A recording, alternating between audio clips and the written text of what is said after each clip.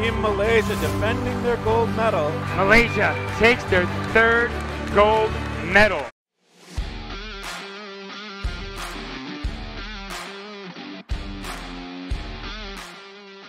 First off, my name is Daryl Go and I am the head coach for Team Malaysia. Uh, my name is Aaron Christopher Pack. Uh, my role in the national team, I'm the men's captain. Hai, nama saya Carlos Gunting, pemain terbaik dalam uh, kejohanan dunia 2022.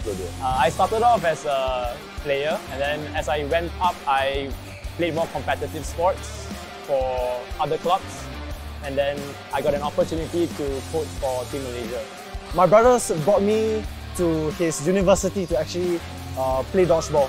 Nampak dari luar nampak senang, so saya pun cuba And then last-last mana tahu uh, terikat lah main dodgeball sampai sekarang dah 7-8 tahun dah. Malaysia dah dapat Johan untuk kejohanan dunia uh, tiga kali. Uh, 2017, 18 dan 2022. I think because of the other states having grown in community, they provide a larger pool for talent in dodgeball. In Penang, in Selangor, they have merged the talent of a lot of other players.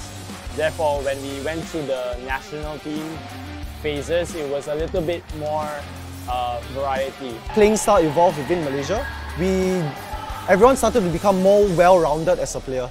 So it doesn't matter if you were fantastic at throwing, if you weren't good at dodging or catching, you, your chances of making the team was a little bit on the slimmer end, if I'm being honest. So this year, the players that were selected are very much all-rounders.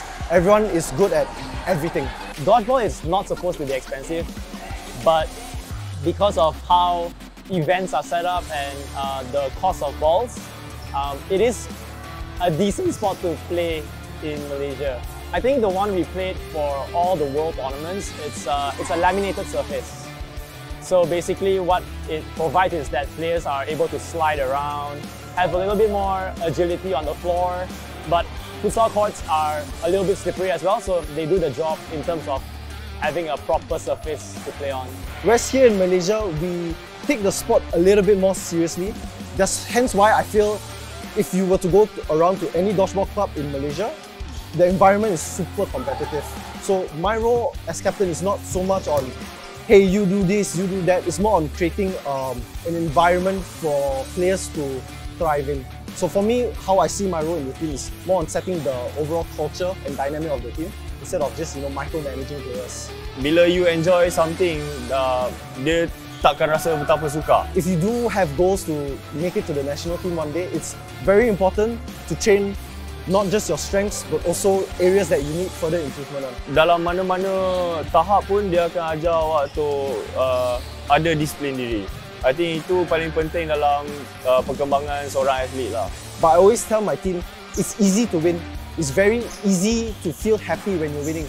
But what makes a good team and a good player is your character when you are losing. Harapan saya player-player yang mewakili negara pada masa hadapan akan dapat better quality in terms of management dan sebagainya lah.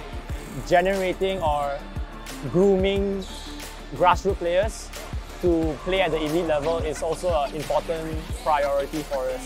And also having a little bit more renowned competitions like the SEA Games, the Olympic, the, the development of the sport. I would say just have fun. I mean, as youngsters, we always love to play a sport because we enjoy the sport. For dodgeball, it's the same. Uh, if you're not having fun in a sport, uh, you're not playing the sport. So if you are willing to explore dodgeball, just go out to any community and just have fun.